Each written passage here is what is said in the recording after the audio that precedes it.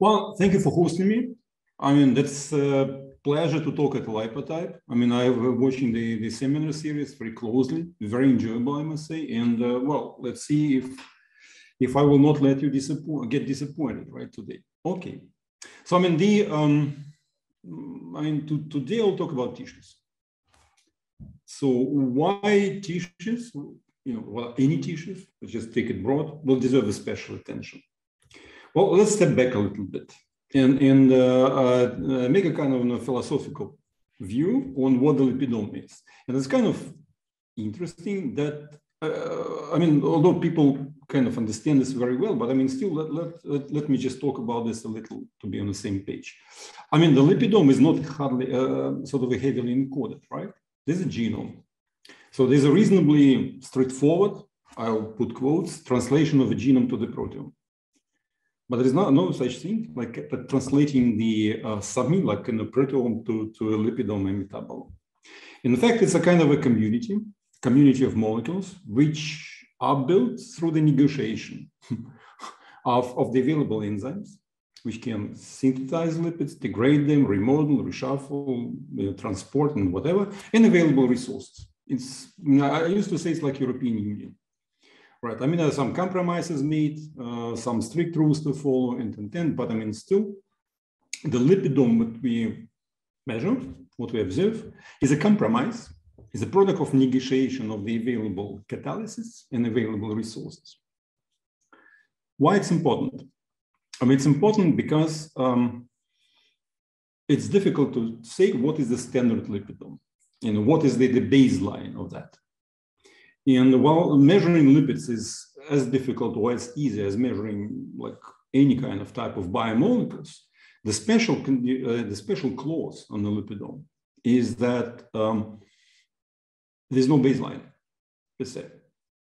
So it has to be, uh, let me elaborate on this uh, a bit later and you will see that it requires certain special type of quantification, certain special type of Jewish philosophy, how to, to interpret data, and uh, some special analytical approach, which differs from what we used to apply for biomolecules, for small molecules, for also like including the you know, proteins, including you know the wide spectrum of metabolites. And the lipidome in this sense is special because again, it's not hard encoded, it's a product of the compromise between catalytic activities and available resources. Uh, we, uh, we've, and others, and also like Lipotype, we've been developing the shotgun lipidomics for that. So as you know, I mean, there are two big approaches to analyze a pool of uh, complex biomolecules. One is, let's say, let's get separate by LC and then analyze them online, preferably, or offline, if, if you wish. Another one is shotgun. Uh, what is the shotgun and uh, why we call it shotgun? The idea is the following. So we extract lipids from any kind of samples, from cells, tissues, organisms. But before extraction, we spike in some internal standards. So then we took the whole soup as we recover and infuse it into MS spectrometer. So direct analysis, no separation. So we use high resolution machines actually to, to snapshot the, uh, the, the, composition. Although we have to keep in mind that the, the vast majority of signals that we detect are actually fake, right? I mean, they are, they are not real. Uh, they are not real signals uh, which we can attribute to, to, to, the biomolecules. So we have to use special analytical approaches and software actually to sort right from wrong, to identify lipids and quantify lipids. And the software here plays, of course, the bigger role. So we use two types of softwares, one to, to clean up the spectrum, you know, like a PeakStrainer, and in a LipidXplorer, which develop in our lab, and um, Lipotype has its LipotypeXplorer um, software to identify and quantify lipids. So at this point, the product, I mean, let me maybe just get the, the pointer. Yes, I have it now. So the, at, the, at this point, the product is a Excel spreadsheet in a sense, right? So we have a catalog of lipids that we identified and their quantities. And that comes to statistical analysis. So, I mean, the important point is the following to remember. A, we don't do the separation of lipids before the analysis. And B, we operate with, at this point, we operate with quantities. with smaller quantities. That's that's essential. That's what we come to this. So we don't really consider the signals, the raw signals per se, but only interpretable signals A and the signals converted into the quantities B. Right. This is what the shotgun is about. All right. That's one of the, our our former colleagues now in Odense, and we with essential the kind of you know he shows the essential message essential for any, any kind of a shotgun interpretation. Why? Because we value the absolute values, if I'm allowed to say so. So why absolute quantification and what's the difference between relative and absolute? A relative quantification where we quantify the abundance of certain molecules, the lipids, in many different conditions. We don't really know how much of the molecule is there. So the absolute quantification is that we determine the concentration or abundance or a normalized concentration, but I mean, the let's say the, uh, but it's always it's moles, moles. In this way, and that's what, what came to, to my sort of philosophical and maybe slightly extended introduction, is that we have to, when talking to lipidol, about the lipidols, we have to determine the reference values because there's no baseline per se. We have to determine this artificially. So we, we have to set the, the biological variation. The same applies to metabolites, of course, but I mean, for lipidome, it's critical kind of critical. So we have to compare the abundances of lipids, not between the biological states or experiment states or normal disease, but also between the, the, the, the molecules, right? We have to compare phosphatidylcholines to ethanolamines, ethanolamines to cholesterol, and so on and so forth, right? Only in this sense, in, the, in a kind of the molar comparison, you can do the valid biological interpretation. So, I mean, we have two types of comparison. So each time we have to kind of go to the molar percent in a sense and get the molar composition of, of, the, uh, of, of the sample which we analyze. And then of course we compare sample to sample within projects. Last but not least, and may I say that at the current state of development, it's maybe the first, maybe I, have, I should have started this, right? Because so many people are doing lipidomics in so many labs, and so the palette of technologies is so broad that the interlab consistency must become an issue. And this is difficult, right? Because it's, uh, uh, I mean, because again, we, we are talking about some promiscuous uh, constellation of biomolecules, the, the lipidome, you know, it's a compromised product in a sense, right? So in a sense, how do we know if we are measuring correct of composition or incorrect composition or biased composition? Because also the composition can be biased in certain classes. You can be correct in 20 and completely fail in 21st. So one of the ways to do this is to apply the molar concentrations because the molar concentrations and molar quantities can be directly comparable between labs. They are not signals, they are not relative uh, intensities, they are not something which is, which is sort of transformed from the raw data, but that has the absolute, absolute concentrations have the absolute value, if I'm allowed to say so. Is it doable? Yes, it's doable. For example, one of the uh, just just you know I have many of those cases, but let me just just uh, um, highlight a few examples. One of the lipid classes uh, in plasma, uh, lysophosphate uh, two standards applied, 12, 0, 30, uh, 13, 0, and uh, we do it like in two time periods, you know, um, within the two months. And then you see that the biological variation is rather small and the technical variation is almost negligible. So it's doable. We have different standards, we have different time points, we have different machines, yet the concentrations are very much close. So it's kind of a doable, right? Keep in mind that in the y-axis, there are micromoles. We, we talk about concentrations in the plasma here, doable. Big, big, big issue is are we concordant with, uh, let's say, with clinical analysis? When you go to, to a doctor and, and the doctor orders a blood test, there are four lipid parameters, exactly four, uh, that, that actually shows the sort of a lipid uh, metabolism status. That's the cholesterol, HDL, LDL, and, and uh, total lipid. So, I mean, they measure in a totally different principle compared to us. But since we are quantifying each lipid in moles, we can somehow simulate the analysis by the doctor and turns out that our simulation is reasonably correct. So there's some variations in here and there, but I mean, it's not dependent on abundance and they kind of still sounds reasonable, right? So compared to the doctors, which are giving you the integral parameters, which, yeah, will have some medical value, but biochemically have limited sense, we quantify each and every molecule, right? And then produce this number for a doctor. So it's it's kind of a magic that concordance is there and it's so good, but it's doable. And then, of course, the big issue is interlaboratory comparison. I mean, we and others have been involved uh, a few years ago in the in a kind of ring trial, pioneered and was conceptualized by John Bowden. It's a fantastic paper, fantastic work. So he kind of uh, distributed the standard NIST uh, um, samples through, throughout many participants. People analyzed it separately. They made a table like this with the different uh, different um, like labs and the techniques used and it was everything was completely blind, really blind. I mean, no leaks or whatever. So we don't know who is who, and uh, we don't know.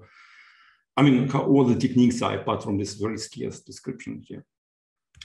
So we let's look at the the um, shotgunning. So there are two labs. One industrial, as you see in here. Uh, one in academia. Both use the direct infusion I mean, I, I, don't know. I mean, the difference between shotgun and direct infusion is kind of mysterious. Let's call that, that this definition is the same, right? And, and both use the high resolution machines. We have no idea what the machines are anyway. So, I mean, they're completely the, the same sample, completely independent labs, independent methods. Maybe like extraction has similarity, but uh, uh, I mean, different software, whatever. So, I mean, what you see here is a, is a concordance or discordance of the methods rather than hands. So, I mean, let's just, there was a fantastic supplementary report of the, those, uh, here you have labs over here, numbers, ciphers, right? Here's the abundance. Again, everything is the molar concentrations. And you see that the two sort of uh, high resolution shotgun labs are highly concordant for abundant lipid and for also much lower abundant lipid and for you know, ceramides, and then you see how the, how big distribution is is uh, all over the film. And many labs are simply fail to to get into the, the desired sort of quality range. Some is missing here, and, and and so on. So basically, we have full concordance of species. And of course, when we have exactly same internal standard, it will be a golden sort of golden dream for uh, for lipidomic analysis. If if and when we have a, each internal standard for each species, our concordance is just high. All right, so now what we have learned from doing the lipidome, I mean the uh, plasma lipidome so far. We can quantify lipids in moles clearly, right? We are concordant with classical clinical chemistry. We are concordant between labs and the, the workflow we developed is matching the demand.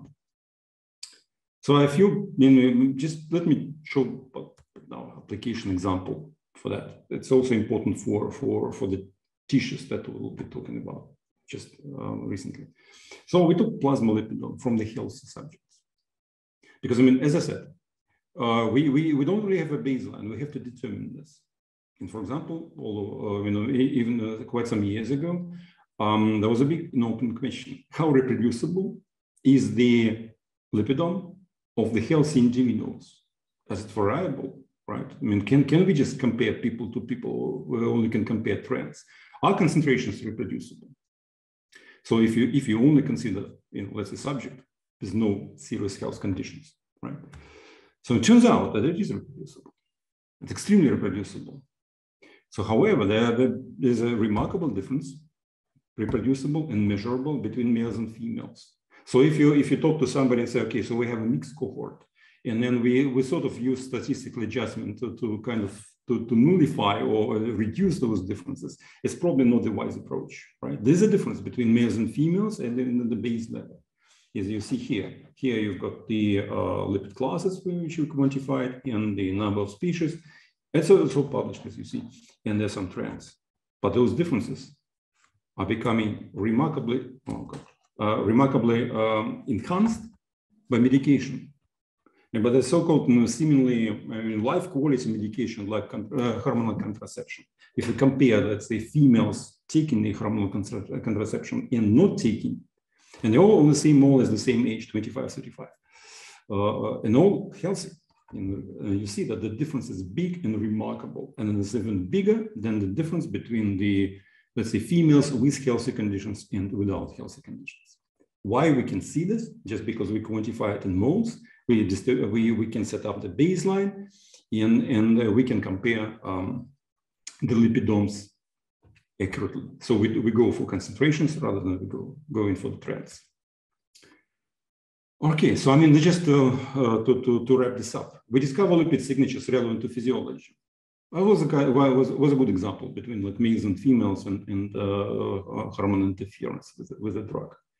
So, I mean, you see that the differences, in fact, that in the previous diagram, are sizable in magnitude. So we don't really have like 1 million fold difference or 100,000 mole difference. When we talk lipidomes, the differences are small, right? So, I mean, we can argue how small, how big they are, but I mean, there's we, don't go for like a like normal in proteomics, like 10 fold, 100 fold. Not, not really, right? I mean, the, the differences always span through multiple lipid classes species. Indeed, the, the lipidome is promiscuous, right? As, I said, it's like an, an European Union, it's negotiation thing, right? So, I mean, so the, the uh, if, if there's a there's a shift in physiology state, it spans through multiple lipid classes and of course through the multiple lipid species. But the good idea, good, good, good message is we can look at the reference values and those differences are reflected by the reference values and they could be associated with the health status, gender, ethnicity, and, and so on and so forth. So, I mean, altogether, we're in a very good shape to start looking for tissues. I mean, this long introduction, in a sense, was has only one purpose. Because in the blood plasma is sort of a standardized. There are probably you know, 100 years of, uh, of medical history of studying the, the blood plasma and kind of in, on, the, on the blood itself, right? In all possible and impossible ways. So before we are certain that we can take the liquid biopsy, we can take the, the blood, you know, let's say blood plasma, we could not go for tissues. So the previous message was to convince you that we are good enough to do blood to go for a little bit more complex than tissue. Why do you want tissues? Well, I mean, you know, I mean, the blood doesn't really have lipid synthesis. Well, can sort of argue how much of the synthesis occurs in blood, or if any, but it's not massive. Would you agree with this, right? So, I mean, the disease and the metabolic disease is not developed in blood. It's reflected in blood, but it's not developed in blood. If we are go to the cause of disease, we have to go where the, the, the disease occurs, right? We have to go to brain, we have to go to liver, we have to go to kidney, something, right? But not blood if we go for the causes, but not consequences.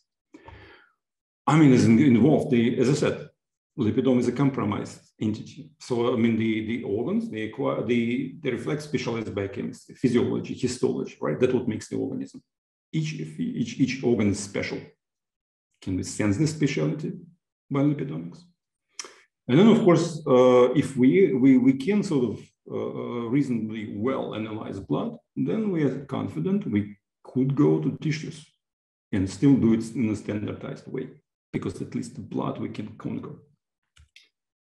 So we, we tried to, uh, to, to, pursue the, the tissue lipidomics by collaborating with Jochen Hampe's lab here in Dresden and analyzing the biopsies from the patients from the non-alcoholic fatty liver disease, NAFLD. What is NAFLD? Well, I mean, imagine that we have a, somebody, an individual who is just normal. He's normal body weight, is not obese, and normal liver. Doesn't drink much alcohol, healthy style, all cool. But then in the meantime, because of social reasons or disease reasons or genetics, I mean, the obesity progresses. It hits the person. The person becomes obese, different sort of state, but the, the, the liver is still healthy.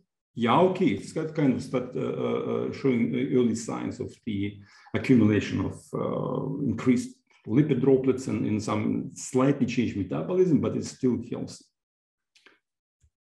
Then, in the meantime, at some point, something happens. The, the massive and large and sizable accumulation of lipid droplets of fat, the physiology changes, and some sort of fibers, you know, appears, still not threatening, still mild, but they are seen in histology if it goes uh, uh, goes further. So uh, that is okay. I'm sorry. I mean, the stage was called NAFL, non-alcoholic fatty liver, right? So non-alcoholic fatty liver disease is a disease, NAFL, and non-alcoholic fatty liver is a liver state. So and then it progresses to non-alcoholic steatohepatitis. So that's sterile hepatitis caused not by the virus, not by something, but by the accumulation of fat, by the perturbed metabolism. So, I mean, the, the liver is becoming fibrotic, There's inflammation, sizable inflammation occurs in there, uh, the histology changes, liver malfunctions. And then eventually it can go to cirrhosis, cancer, and death. So the multiple stages. You see, I mean, it, it's a kind of a gold mine. I'm sorry for being so cynical for lipidomic scientists because we have like the same liver, a cohort of patients, they are well diagnosed, biopsies available, and, and it's still the same tissue. I mean, let's see if the, uh, and it's, it's clearly it's a fat disease, right? It's lipid disease, lipid accumulates. So what are lipidome changes and how the lipidome changes, if and how lipidome changes are associated with the disease state?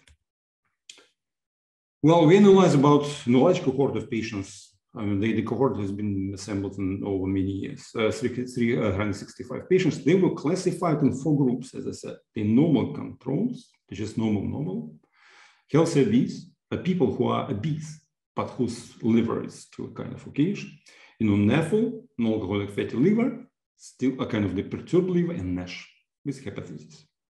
So, I mean, we, we've been very conserved uh, in terms of the selecting lipid species in, in the thresholds and reproducibility and repeatability uh, of the same species within the cohort. So basically, we could detect, uh, uh you know, 400 uh, over 400 species, 450.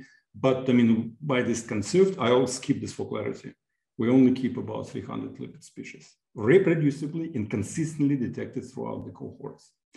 The good, okay, so kind of a bad news in a sense, right? 300 by today's standards, 300 you know, it may be not that much, right? You know, but the good news is that they cover all kind of essential lipids. The glycerol phospholipids, uh, making the biological membranes, sphingolipids, yes. However, also glycerolipids, DAGs, DAGs, cholesterol is cholesterol. So here's the diagram. I mean, you'll see, okay, so there's a log scale, so be, be a bit careful here. What you see is that, or else indeed, mm, when the fatty liver progresses and the, let's say the red is the NASH and the blue is the normal control, indeed we accumulate more fat, right? More triglycerols over here. In the uh, cholesterols, triglycerols, and diacylglycerols. So, I mean, the bad news are that the nothing else change, or at least no, nothing else changes within the, the magnitude, which is comparable with the biological range. Okay, so I mean that's true. And in fact, if you just submitted them the, the, the data set to, uh, to to PCA plot, and you see there's some separation between NAFL, NASH, and whatever. But also, if we uh, remove the neutral lipids, uh, the separation disappears. No big change. Again, I mean, we thought this like maybe NAFL is about like accumulating some special type of fat, right? So I mean, you have a one type of fat, one uh, one composition of triglycerols at the beginning, but then when the uh, lipid droplets are becoming big, I mean, that requires different fat. No, it's exactly the same fat. Both on the diacylglycerol level is just the upper upper um, row, and the triglycerol level is the lower row. Both in terms of the chain length and the number of double bonds. It's exactly the same. So the same fat, which is closely similar to, to uh, white adipose fat is accumulating in the liver, no difference. So we start looking to uh, for, for the classifiers. And then of course, it's very obvious that, I mean, the clinical markers didn't really help in this case because the clinical markers, they come in later when the liver is significantly perturbed. And then we, um, but then of course, if we look for, for the lipidomics markers, and lipidomics markers is the triglycerols and diacylglycerols, mostly saturated uh, triglycerols. And of course, it makes uh, great separation, fantastic classifiers, but it's completely not interesting, right? We kind of know that the, um, the, the, lipid, uh, liver accumulates fat anyway. Why bother? What's interesting is that in this whole row, please just let's just take it, take a careful thing. Is you don't see any membrane lipid, no no no glycerophospholipids, nothing, no, no cholesterol, nothing really here remarkable. So basically looks like the, the, the membrane lipidome stays almost the same or the same, right? Apart from two things, that's very odd, sphingomyelins. They are odd chain, and one of them is highly unsaturated. All right, I mean, the three double bonds. So um, in altogether in the whole molecule. So we uh, calibrate at this point, we start collaborating with uh, the lab of Josch Pauling here, and then and the student from Josch and Team Rosette. This is beautiful work. I, I took I, I, took liberty to use his slides directly. It's also on the web on on, uh, on our um, uh, YouTube channel. You can have a look on this. As a beautiful informatic work from these people. Without them, we'll get stuck with the bar diagrams. Wouldn't wouldn't go very far.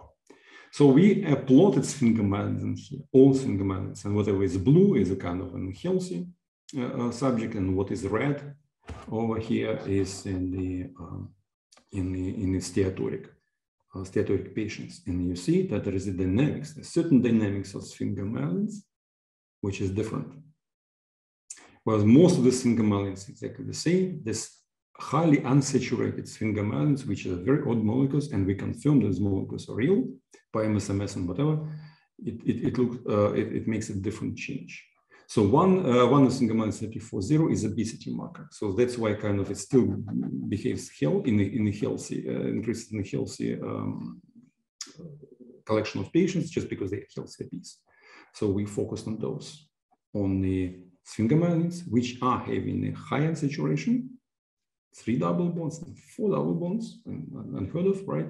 In the um, in the old number of carbons altogether in the, in the single, single zinc backbone. So um, what, what, what was bad about this classification is that it works uh, as, as good as the triacylglycerols between uh, classifying between the healthy bees and let's say NASH, but it sort of was compromised uh, between, um, let's say, NAFL, bees, and NASH in a different way.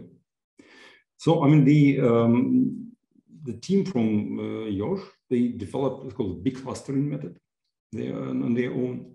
So instead looking in the sub cohorts, I mean, the cohorts connected uh, in the cohorts of patients, which are enriched either in NAFL and NASH or in, in healthy bees here. So in fact, to make the story very short, we kind of understood that in tissue, the such is not really a scientific merit, and it's not biochemical merit. There are subgroups of NAFL. This intermediate group contains the NAFL, like healthy bees, and these are H NAFL. And the NAFL, which are like sick NAFL, still NAFL, still by the histological classification, they are not really developed to NASH, but very similar to NASH, kind of a borderline, in some very intermediate case, right? So that's where disease actually started. That's where disease becomes irreversible. And then we look at the at the um, the median ratios of those sphingolipids, sphingomyelins over, over here. And we use this uh, sphingomyelin CT22 because it hasn't been changed. We use a normalization factor. We see there is a kind of a tipping point, which occurs somewhere in the uh, between the uh, well H NAFL or healthy NAFL and the intermediate NAFL you know, where the, the ratio of this of the of the, sphingomyelin is changing and is becoming reversible. So I mean, I'm I'm not saying that uh, the uh, NAFL to NASH transition occurs because of the sphingomyelins. They're very minor, in fact, and then of course the lipidome mm, remains almost the same, right? But it's a sign of it. And in the sign, this transition in tissue is not going through this sort of a gradual and sort of a smooth increase of, of the fat, but the biochemistry changes at some point abruptly. And hopefully what we, what we found is a marker of this change. So we don't really think it's a diagnostic marker. Obviously, you don't want to do the biopsy for the diagnosis, but it's a sign of better biochemistry and we want to pursue this further. So uh, that's, a, that's kind of a very tissue specific in that sense. So, I mean, what talking to NAFLD? The first conclusions. Yes, the fat accumulates, but it's not interesting fat. It's not diagnostic fat. The amount is diagnostic, but it's trivial. The bulk of what's, what's interesting is that the bulk of lipidome is not changing. Not at least, you know, the, when the liver stays the liver, it's not like melts and, uh, during cirrhosis or something like this, right? I mean, there's still kind of the, the, the organism tries to maintain the biological identity of the hepatocytes. So, I mean, the changes, if any, are confined to lipid subgroups. So, in, in, in the, uh, there's a fixed point transition instead of steady accumulation, the tipping point, let's call it this way.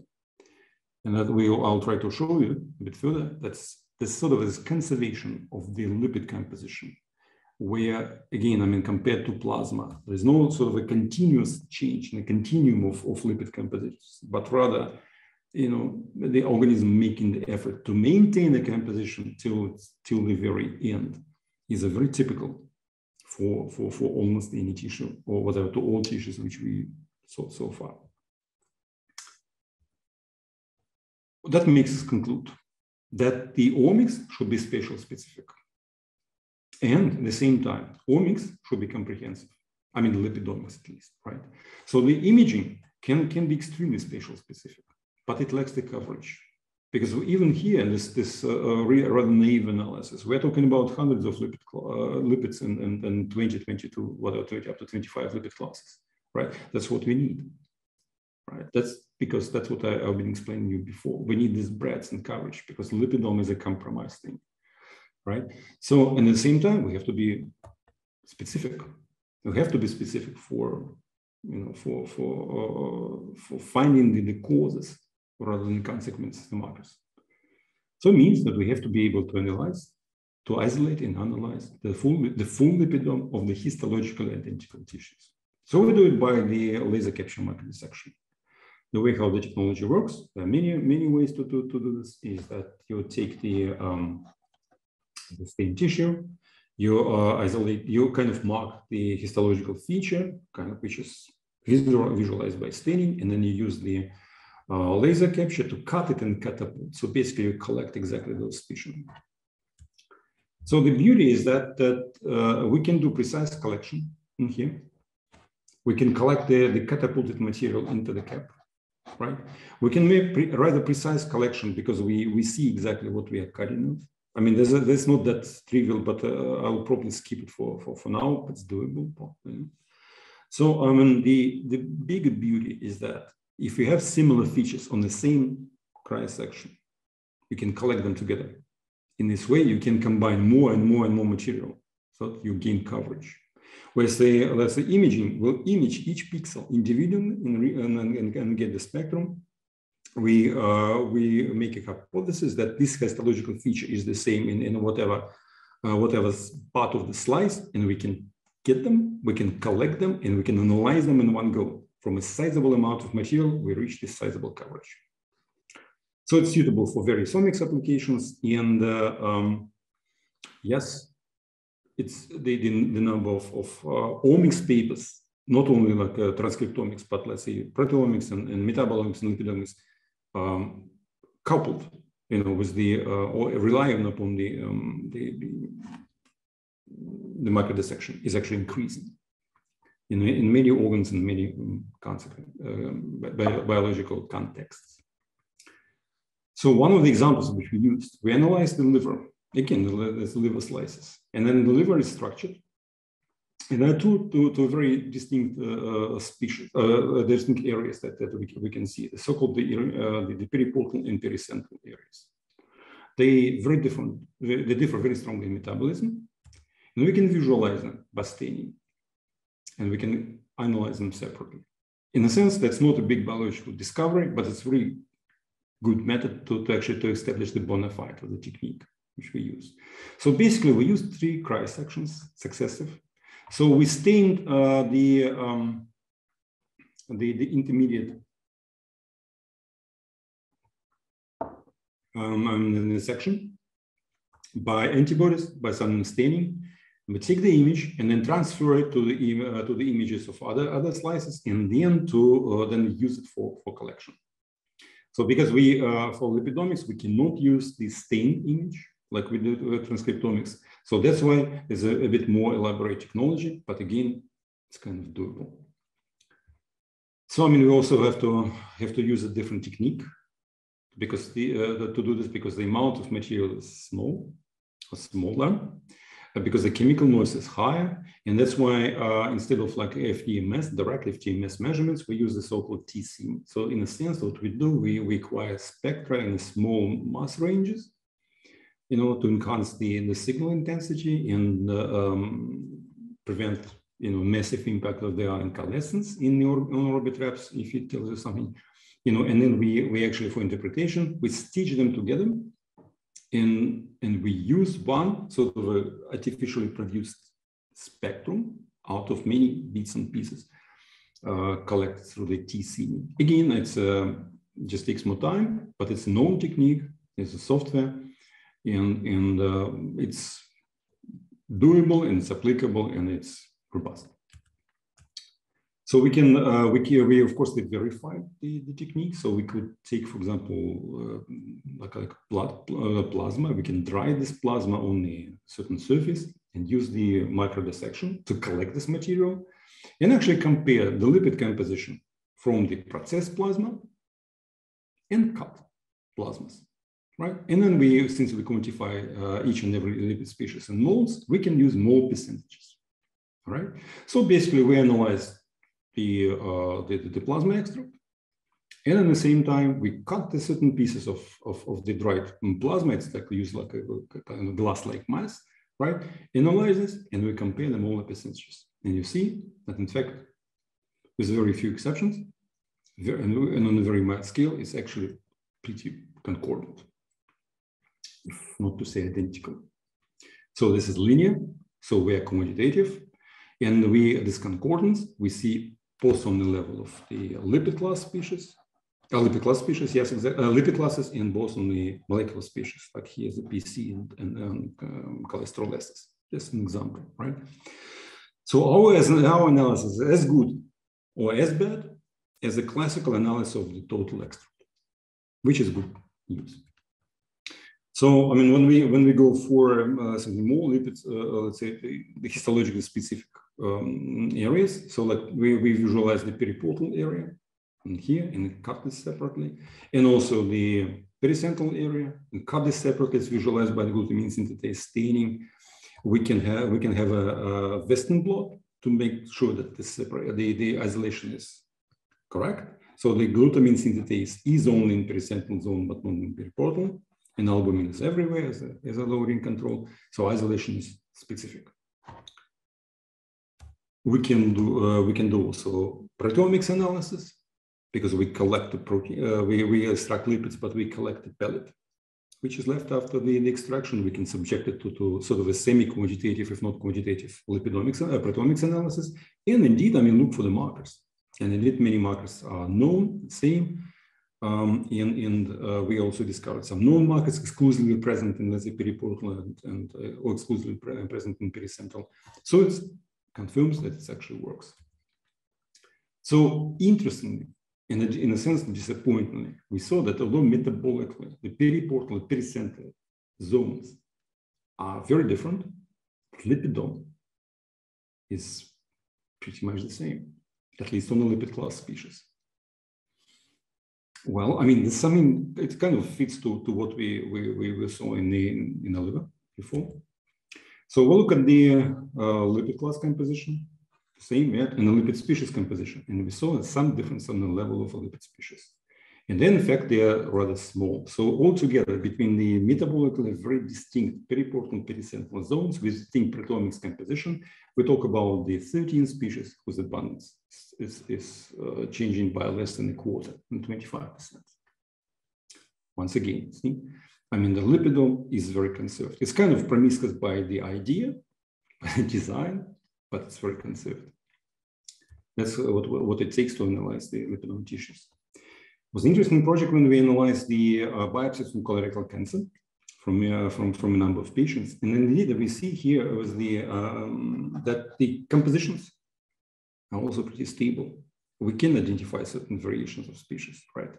We can mark them but altogether, the composition of the colon cancer biopsy and the normal mucosa, just taken a few centimeters, well, 10 and 20 centimeters actually, you know, apart from the from the area, which is also clean histologically, are not much different. There are some differences, however. So uh, we again, we start seeing the differences in the ceramide and sphingomyelin profiles. Small, less than a quarter, you know, but statistically significant. And we are now trying to understand what does it mean, you know, what those differences means. But for me, as, a, as an analytical chemist, this conservation, this independence of the lipidome from the disease state is striking. we can, you know, uh, of course, you can question. Well, look, uh, we all look for big changes. How comes that you don't see those changes? And it's only maybe you. Maybe it's a you know matter of the technology of the lab. Interestingly, that completely independent from us, from completely independent cohort. Uh, I mean, the um, Gerhard Liebisch lab in Regensburg analyzes uh, the, the, the colon biopsies right? So they, they have like three cohorts, you know, um, two, two cohorts in, in, in independently from us, and they also used our third cohort as an independent comparison and validation. You see it's over here. So um, remarkably, the concordance between the Dresden results and the Regensburg result is extremely high. So, I mean, that's also the shotgun method. Once again, everything was different technically, yet the concordance is there. And uh, uh, it's only a few species, which also observed for us, by us, but we didn't use it for classification because of the small number of samples. Um, uh, uh I mean, the, the, the, marker lipids are limited by just only a few. So ceramides, some sphingomyelins used use for, for, for the classification, and in Regensburg data also uh, two specific tags. So once again, uh, yes, it's like a, uh, the marker, statistics shows it's a marker, yes, but overall conservation is remarkable and it's reconfirmed by independent comparison between studies, not only by, by labs, but also by studies, by the way how the biopsies were isolated, processed, and analyzed. So, um, sorry about this. So we, we continued with the um, tumor samples and uh, we, we, know, uh, we start like systematically applying the microdissection in and to analyze different pieces of um, pieces of, of, of uh, different layers basically of, of growing tumors instead of the full biopsy. And here we start seeing the differences. And the differences were pretty big and massive. So once again, if we are to analyze the, the main message of this, this talk, if we are to analyze tissues compared to blood plasma, we have to consider the heterogeneity of the tissue. We have to consider heterogeneity on a sort of a micro level, micrometer level, uh, maybe even more. And we also have to look for the full lipid profile. For example, let's let's have a look here in, in, ceramides. That's you know, lysolipids. Yeah, okay, can be compromised, whatever. But let's look at the ceramides on, on a picture, and you see that the molar profile of the ceramides is different between the normal epithelia, between the tumor epithelia, and it kind of changes on uh, on the way how the tumor progresses. So now we are we are trying to to understand what does this all mean? I mean, you see what we see. We, we have a we have a pretty massive changes in lysolipids, LPs, LPIs, uh, on the ceramides, on the hexosyl ceramides, and also I skip this for clarity on the level of individual molecular species. Conclusions and speculations. Once again, tissues in contrast to plasma, somehow organism strive to maintain its compositional identity. Right. So I mean, the the although I mean the, the, the histo histological, you see that tissues tissues is quite kind of compromised. Right? The cancer, for example, developing. You know, still the lipid composition, the metabolism, lipid metabolism, the basis of metabolism seems to be conserved. Right. Differences there, they are confined to some specific lipid classes, and that's what makes them interesting. But if you if you hope that they, there will be sort of a biomarker and analysis of, of, of the tissues and you see the massive change, which will be super diagnostics, and then you can do it in, in, in 15 minutes. That I know maybe not the case for the tissues. As I said, changes are not global. Yes, they, and then in, uh, it can be kind of quite high, in fact, but compared to the interpatient variations, they are modest. So the so far, what we've seen is the, the change, the interesting changes somehow associated to the ceramide sphingomyelin axis. Maybe it's a matter of technology. Maybe we can uh, find something more. Maybe um, it's kind of our preference bias, but it's interesting that in how many instances, and I'm, I, have been only talking about a few examples in here, right? Uh, we, we did many more. Um, it's always somehow ceramide sphingomyelin axis involved. And the difference again is not really like ceram ceramides up, sphingomyelins are down, or sphingomyelins are down, ceramides up, you know, but it's a redistribution of molecular species. And it's not really that kind of replicas of the, of the abundance. And what's uh, what's interesting, what's intriguing, and remains to, to, to be studied, and I think it's there's uh, much more to do, you know, for for the whole field, not not like for the modest lab as we are, is that it looks like in tissues we start seeing the tipping points, like at uh, where, where where at some stage of disease, the marker is changing by the switch and then remains the same or, or, or it's not changing that, that significantly. So the kind of is, if you wish, uh, phase transition, may I say so? You know, in lipid metabolism, where sort of meta metabolism decides that, you know, we progress to disease and, and we, we, we stop uh, sort of fighting. Um, you know, we stop trying to get the metabolism back to normal. But again, you know, whatever I'm talking about is not massive. They're milder, smaller changes, which are confined to certain specific markers. My lab. I mean, this is like the old photo, pre-COVID time, but this all people who, who, who really you know, contributed to, to, to, this project. And uh, we, you know, I, I want to keep the old photo um, just to acknowledge them. You know, many of this um, they left, they, uh, take, uh, they're taking jobs in industry, in academia, you know, but that's what uh, what the team was, you know, and and, and uh, without these talented people, I, we would have it would be not possible to do it in here with this very complex and very sort of undefined, very sort of promiscuous area as the tissue lipidome. My names, um, my sort of big, uh, biggest uh, gratitude to Oscar, to Olga, to Eugene, and also Suzanne Sales, who, who, left you know, long, long, long ago, um, that whose work I presented here. So uh, uh strategic collaborations and, and uh, Josch Pauling's lab, who did all the informatics and very innovative methods for, for those, and, and uh, his very talented student team, Rosa. Um, collaboration with the clinics, Jochen Hampe, Sebastian Zeissig, who provided the clinical oversight and material in University of Graz. You know, Harald Köfeler's lab, I'm here only keeping PIs for, for clarity, um, who, who, who, helped us with the in-depth analysis of the molecular species of uh, uh, that, that would be discovered in the liver project. Very great technology and great help. And of course, you can get all the details in, in the um, more information on the, our webpage if you look for Twitter, we used to kind of to tweet whatever's interesting is going on in here. And also we set up a, like a YouTube um, called channel, whatever. So we have put collections of, uh, of the, the videos, which are explaining the recently published papers in some kind of a more humanistic style. You may enjoy the video instead of my long and you know talk.